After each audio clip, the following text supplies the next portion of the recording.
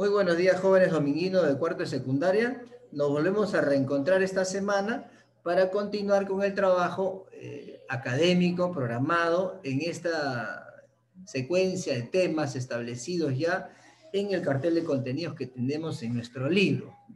Es importantísimo que usted participe en el proceso de la clase, durante el desarrollo de la clase y inclusive cuando yo esté explicando, usted puede participar porque todo va a quedar grabado y eso es una buena referencia de que usted está interesado en desarrollar mejores aprendizajes.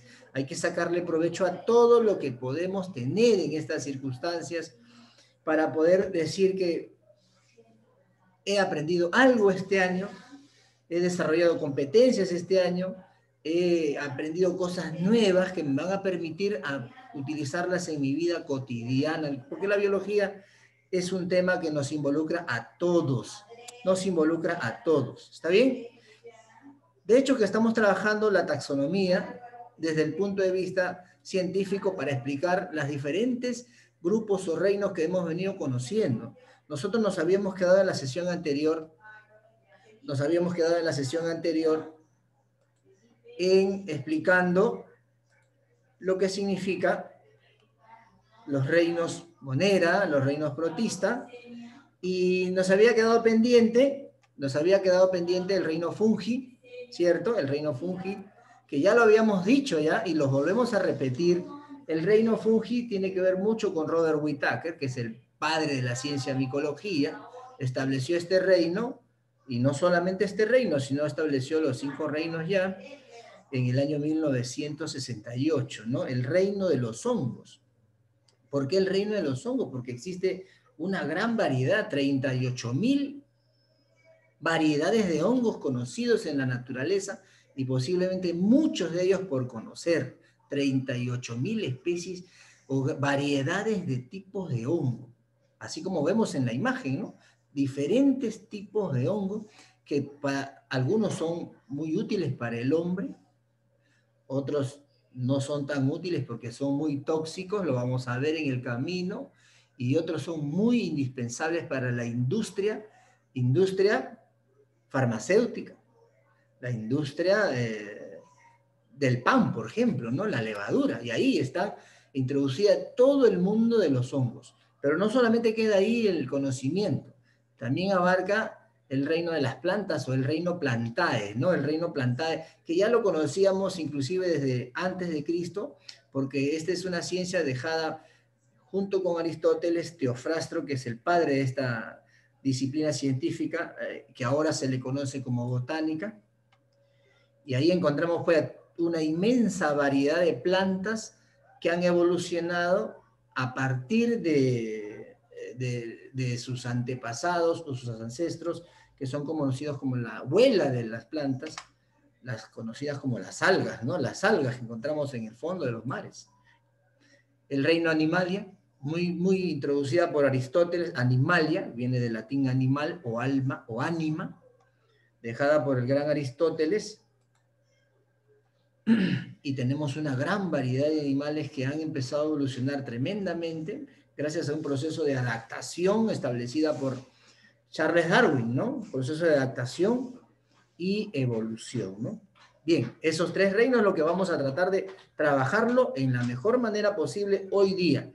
De repente, usted puede ir dejando su mensaje en el chat mientras que yo voy explicando un poco la información con respecto a los tres reinos que tenemos para hoy día. En el caso del reino fungi, conocemos nosotros que el término unicelular, ¿cierto? Ya conocemos conocemos el término pluricelular, pero en el reino fungi están los dos, los mixtos están ahí, unicelulares y pluricelulares. Significa que tenemos hongos simples y hongos complejos, ¿cierto? Son seres vivos, evidentemente. No tienen clorofila, es decir, no elaboran sus propios alimentos. Eso significa que son heterótrofos, son heterótrofos. Muchos de ellos viven en sociedades con otros microorganismos u organismos u otros son parásitos, pues no viven a, consecuencia o viven, perdón, a, eh, disposición de un huésped, ¿no? Ellos siempre habitan un huésped de la cual se van a beneficiar siempre. ¿Qué más tenemos? Su reproducción es asexual o es sexual. Muchos de ellos son hermafroditas, ¿no?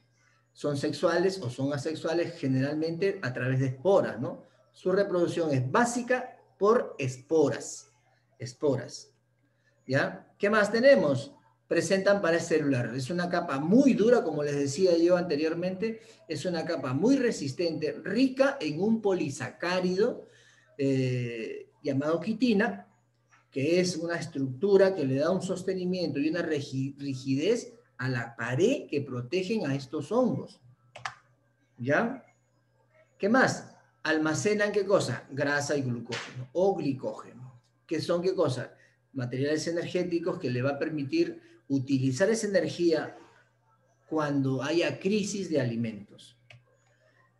Si nosotros observamos, conocemos a los hongos, ¿cierto? Los conocemos observamos estos hongos que son famosos, que son los de sombrerito. Ellos están llenos de filamentos, túbulos, llamados hifas. Están llenos de hifas.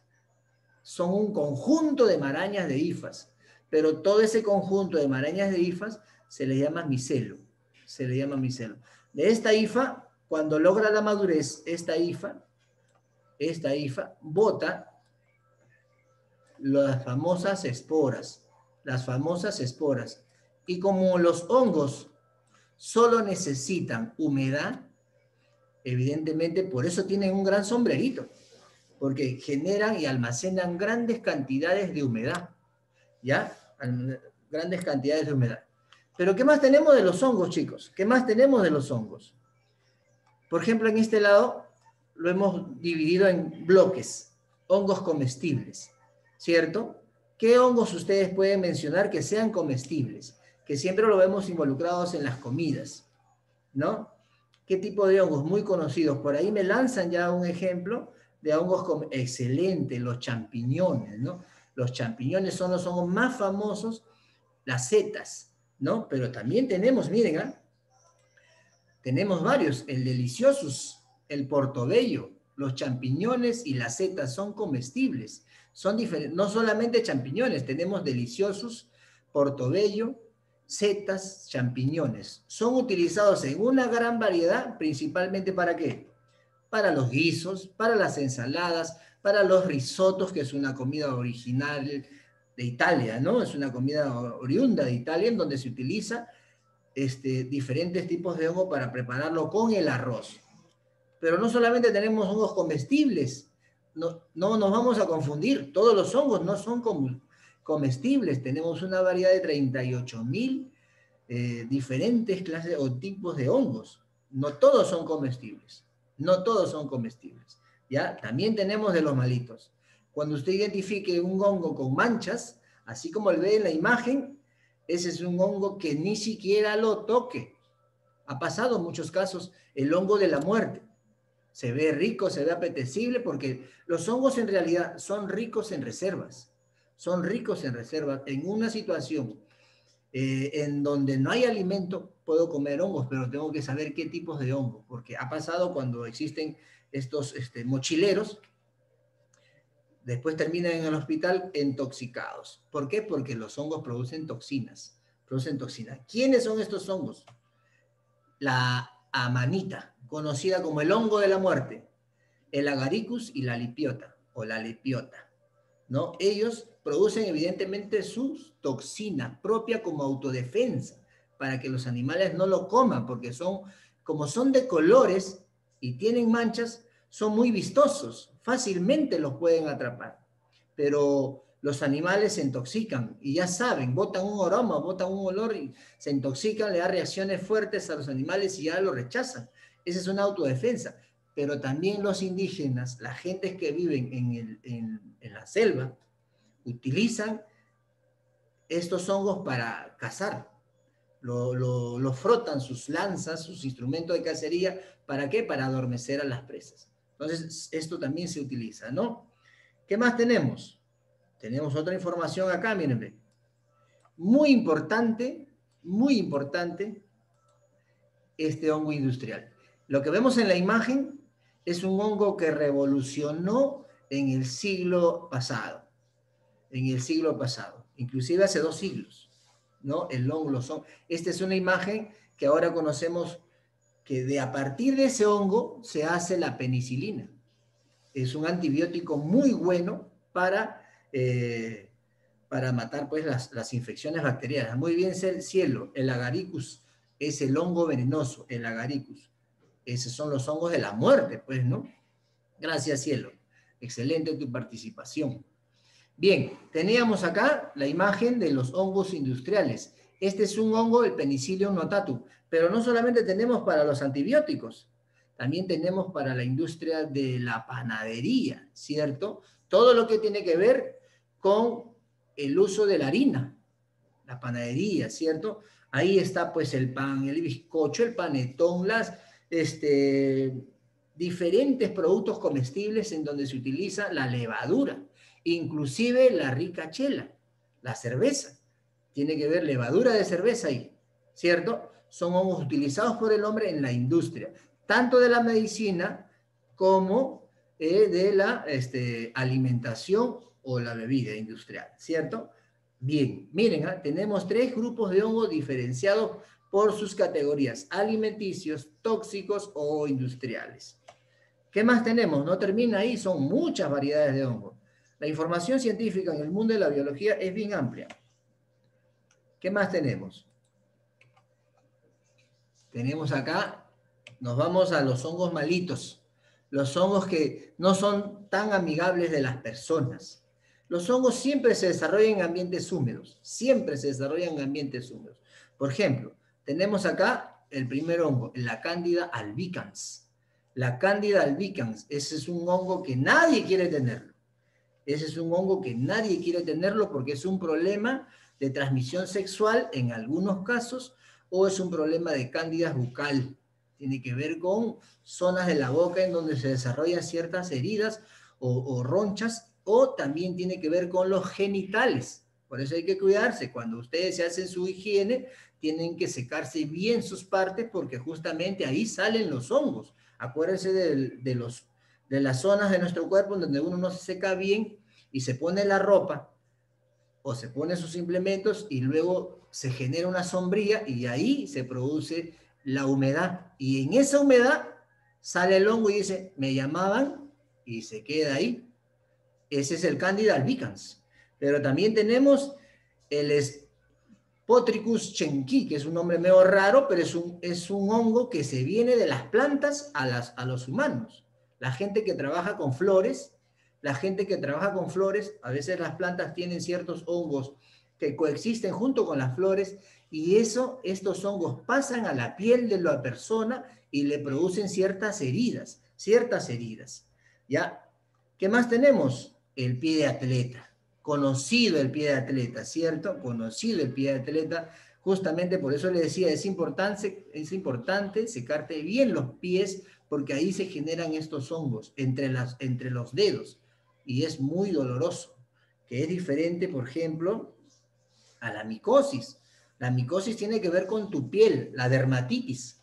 La dermatitis tiene que ver con manchas en la piel. A veces uno de por aquí o por allá ha utilizado, ha agarrado diferentes cosas y te ha salido unas manchitas geométricas en la piel, geométricas porque estos hongos son geométricos, son redonditos, se van generando redonditos. Y eso genera, pues, evidentemente, un problema de la piel. Un, claro, la tiña, excelente. La tiña también. y Todo ello es crema. Son cremas. La onicomicosis, Acuérdense, no sé si ustedes tienen familia, la micosis es en la piel, pero la onicomicosis es entre, entre las uñas. Pues no sé si ustedes han visto cuando se ingresa el hongo a la uña. Es dolorosísimo, tienen que sacarte la uña. O te da unas pastillotas que si no te cura la uña, te destruye el hígado. Son muy fuertes esas, esas este, pastillas, ¿cierto? Esa es la onicomicosis, hongos en los en la uña de los pies, se levanta la uña y ahí está dentro pues el, hongo este, ¿no? También tenemos lo que dice la tiña, ¿no? Esa, esa zona seborreica que nace en el cuero cabelludo y va matando las raíces de nuestro cabello. Eso es con respecto, miren, a tanta, tanta información que tenemos con los hongos. Aquí tenemos la variedad de hongos que podemos identificar claramente y en dónde se encuentran, repito, miren, la levadura, las trufas, champiñones, amanitas, todos ellos están clasificados bajo esos términos, ¿ya? Bajo esos términos.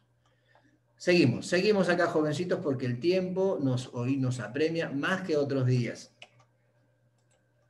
El reino de las plantas. Importantísimo la botánica en estos tiempos, pero la planta, como cualquier ser vivo, tiene un origen, tiene un origen. Y aquí estamos en la imagen, mire, dice que las plantas evidentemente surgieron de las algas. Por eso se dice que las algas son las abuelas de las plantas. Pero ¿dónde vivían estas algas? En el mar. Vivían en el mar. Pero después de vivir en el mar, como vemos en la imagen, aquí está el mar, todo esto es mar, todo esto es mar. Aquí están las algas. Las algas evolucionaron y salieron del mar. Profesor, ¿cómo es eso? es parte de la evolución y parte de un proceso que se llama adaptación a los nuevos ecosistemas. Evidentemente lo que salió del mar no es lo que ahora vemos en los parques. Es un proceso que ha tomado más de 2 mil millones de años.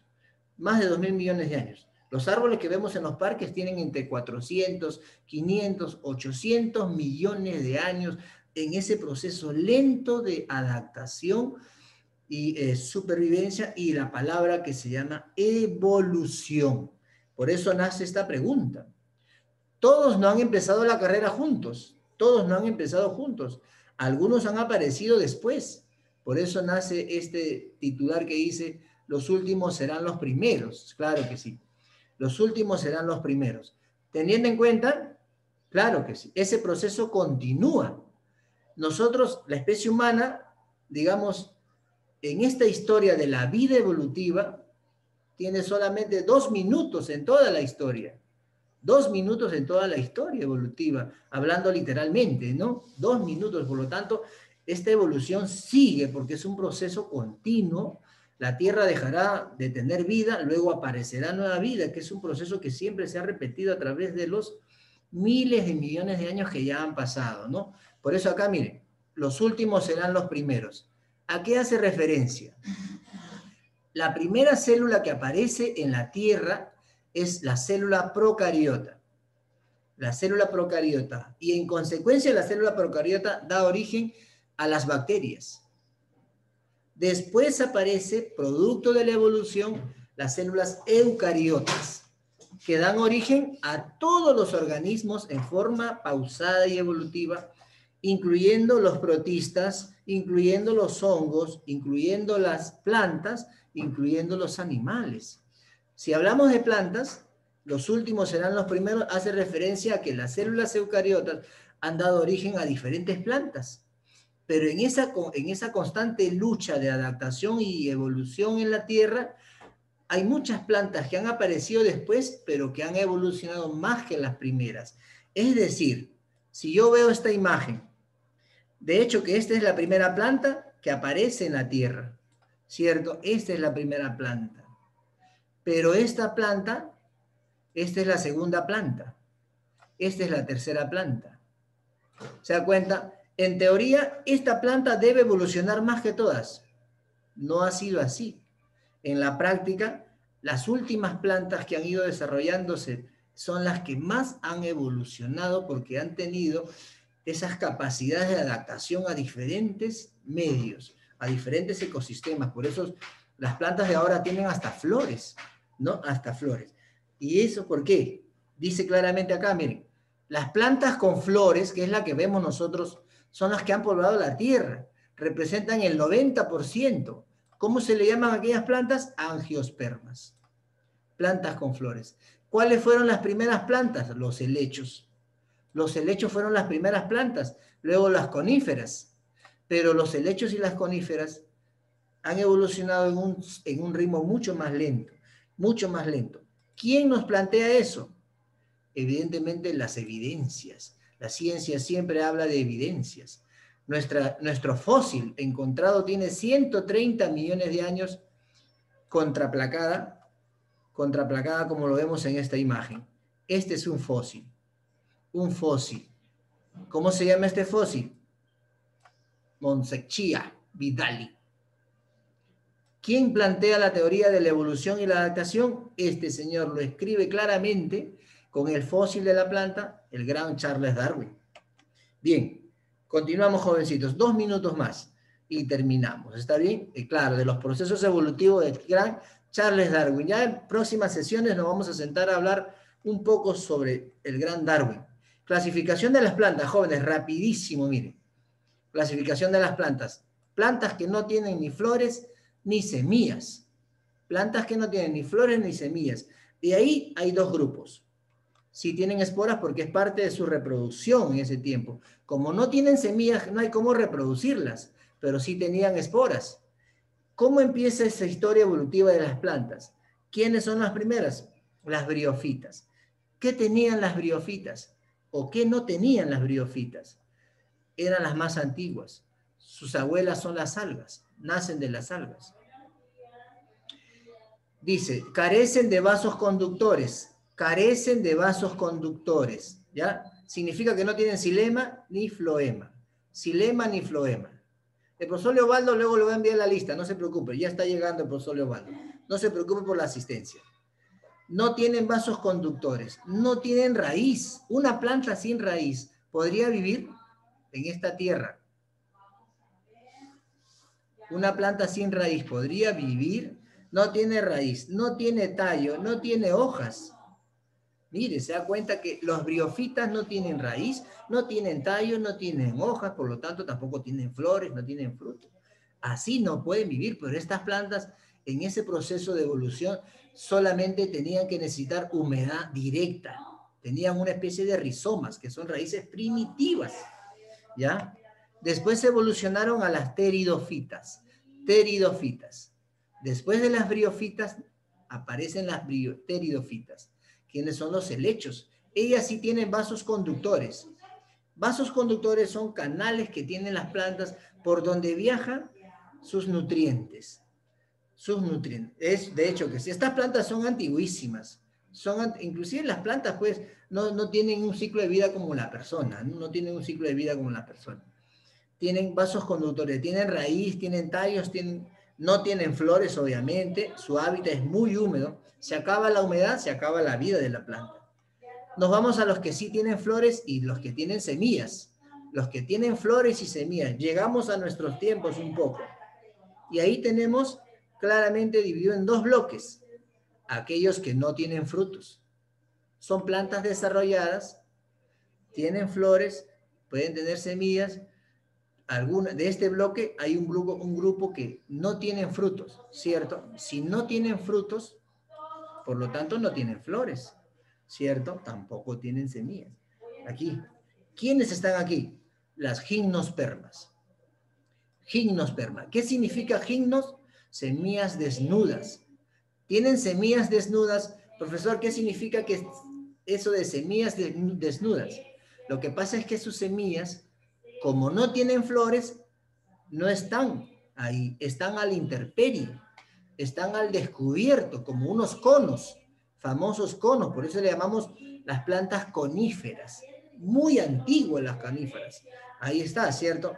Polinizan con el viento. Ustedes saben muy bien que las abejas son polinizadoras, pero si no hay flores, la, abeja no va a poder acudir ahí. Entonces, ¿quiénes son las que le polinizan? Aquí, a la ginosperma, la única forma es el viento. Los conos, hay conos masculinos y hay conos femeninos. Conos con óvulo y conos con espermatocitos. Esos conos se tienen que enlazar, se tienen que unir. Y todo es gracias al viento. Cuando el viento se mueve, ah, perdón, cuando el viento genera su fuerza, hace que la planta, como el pino, como el ciprés, como el abeto, como el cedro, muevan sus hojas y sobre las hojas están sus conos. Esos conos caen y en el suelo se juntan estos conos masculinos con estos conos femeninos y de ahí dan origen a estos gimnospermas. Pero tenemos el grupo de las plantas muy famosas, las plantas que tienen frutos. Ustedes comen una variedad de frutos, ¿cierto? Y ahí están las angiospermas, las que tienen semillas encerradas dentro de las flores. Estas son con flores, tienen frutos, están encerrados todos, están muy protegidas.